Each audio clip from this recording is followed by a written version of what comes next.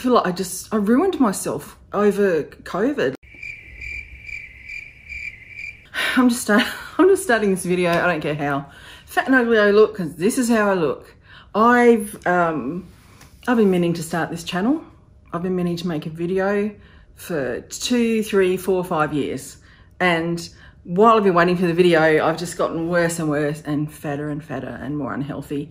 And now I'm really worried that I'm going to just die. And I'm not exaggerating. I I feel like I just I ruined myself over COVID. Like I thought I was in a really good position through lockdown and I, I ruined myself. I ruined my body. I ruined my health. And I feel like, you know, I'm nearly I'm gonna be 60 in a couple of years and I feel like this is my last chance to to like reset my life and get it back on track. And and in the time that I've been thinking about making this video, I've actually put on another 20 kilos and my muscles have gotten weaker and it's time. So I'm old and I'm, I'm sick and I've got a shit ton of stuff wrong with me. So I don't know. I don't know. I, I don't know, but the, I feel like the only way I can do this is to make myself accountable. And I'm super embarrassed because I'm going to be putting my fat photos on the internet. And by the way, if you don't like the word fat, probably not the channel for you. because that's what I am, I'm fat. I also have chronic illness and a couple other sort of um, comorbidities. um, just about diabetic if I'm not already. 140 pounds over my healthy weight. Um, that's 70 kilos. I've got to lose half my body weight basically. And I just don't know what I'm going to do. I've got a house that's that I love. That was going to be my dream. My life just hasn't turned out the way I wanted it to. I I really thought um, a couple of years ago, sort of it was halfway through 2020 and I knew I was going to get a house. Actually, it was before COVID even became a thing. I thought I had my late 50s and my um, 60s planned and retirement. And I wanted to make this channel because people were saying to me, people were saying to me that was inspiring them to do stuff because I was, you know, in my mid 50s and I was, I've got an interest outside of, you know, um, the normal thing um, uh, to do with music. And I've been going on, I was just hopping on planes, you know, I had, I had a bit of money. The kids were both working. I wasn't rich. I just, you know, the kids are splitting the rent with me. So I was in a good position. And, you know, I had friends at work going, younger than me, even saying, wow, you're inspiring me to, you know, get up and do stuff. I was going to concerts on my own. I've had people go to concerts now on their own and, you know, saying if it wasn't for you, I never would have done it. And now I just can't, I can't do anything. I'm, since COVID, like the last time I got on a plane and went to a concert, I mean, I mean, I've been overweight probably for 10 years. I haven't always been overweight. And, um, I'm just so big now, I couldn't imagine even fitting in a plane seat. Sometimes I can't fit in regular seats when, when I go out and I'm getting off track. But, you know, I went from enjoying this life, it was full and doing stuff. And then I, I, I got my own house and that, you know, that on, I got a mortgage and I thought, this is it. This is going to, this is the, the life I've been dreaming of. And it just all went down the tubes.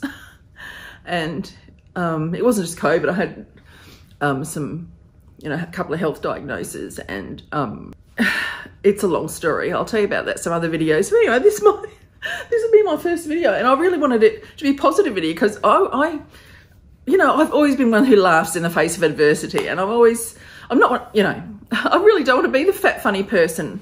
I just want to be me, and I just want to. I just don't want people to feel sorry for me now. But so, you know, this crying, I'm a crier, all right? I'm warning you now, I'm a crier. So you may get some of this, but I just want to be as real as possible and just let you know how I'm feeling. So, but um, this is my first video and I got to get my life together because um, I, I just, I don't know, I just wake up every day in so much pain and you know, this, I'm on my own. I've been on my own for 20 years been a single mum for 20 years until I kick the kids out two years ago. And, you know, like today, I need a plumber. I haven't got any money for a plumber. I don't know what to do. So, this is my first video. and it's um it's a miserable video, but honestly, I want to do this because I know there's other people out there who are just as fucked as me.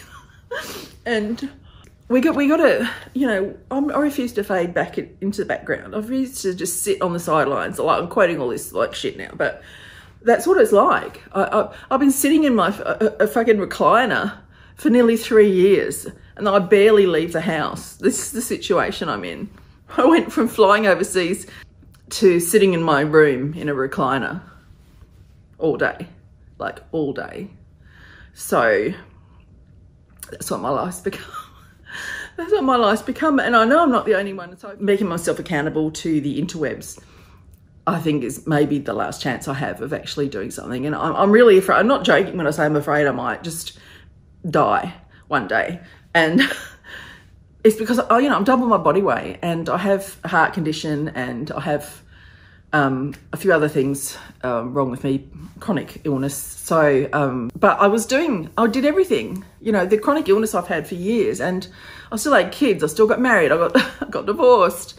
You know, went to uni, did all kinds of stuff, worked full time, and I just feel like I can still do that. You know, well, not I don't want to work full time, but I, I've always done everything everyone else has done, except maybe not physical things, right? But I refuse to lie down and just fade away into the ether. Like I'm not gonna roll over.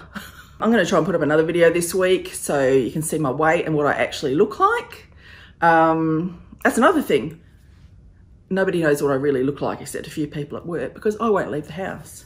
Yeah, I'm too embarrassed. I'm too embarrassed to see people I know. Look, I could go on. We'll talk about we'll talk about embarrassing things that happened to me since I'm this fat. In maybe in the next maybe in the next video. okay, bye.